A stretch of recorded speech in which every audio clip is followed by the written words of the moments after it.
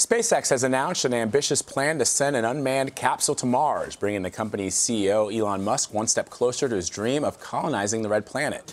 SpaceX tweeted that they are planning to send Dragon to Mars as soon as 2018, with more details to come.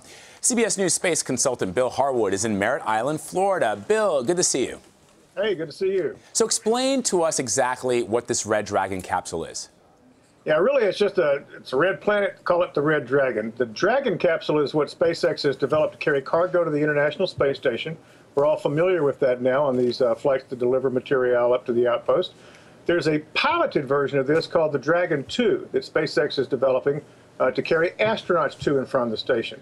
Now, what Elon Musk is proposing to do is take that upgraded Dragon and send it to Mars without anybody on board uh, and down to the surface for a landing just to, to gather the knowledge of the what you have to do to pull that off, you know, get a lot of lessons learned so that you can plan down the road eventually to send people. And so, how far can it go, Bill? What are some of the capabilities of this craft?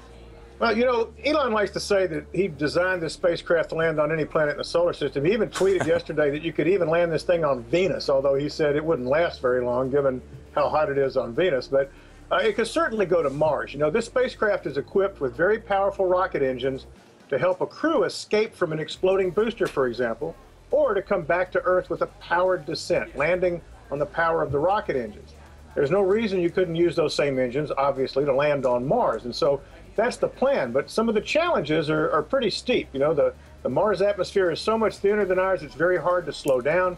Uh, there'd be a lot of work that would have to go on to make all that happen. Uh, but Mr. Musk, uh, he is a dreamer, and he is absolutely determined to make this happen. All right. So, I mean, 2018, time wise, is just around the corner. How ambitious is that timeline? Well, it remains to be seen. You know, they're talking about using the rocket that uh, SpaceX builds called the Falcon Heavy. This is a, a huge rocket. It has not yet flown. They're hoping to test fly it later this year or early next.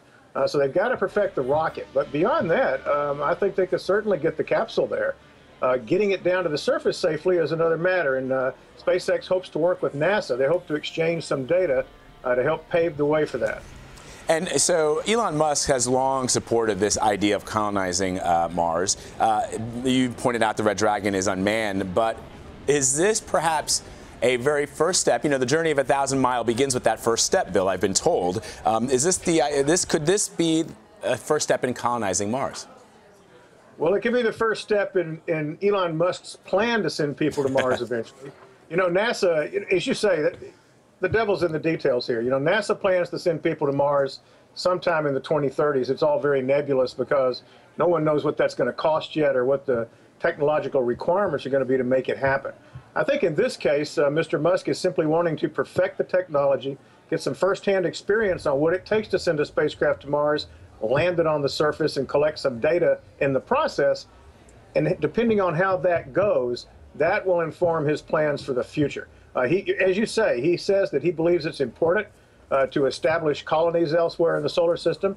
And of course, this is, as you say, a very first small step, but it is a step.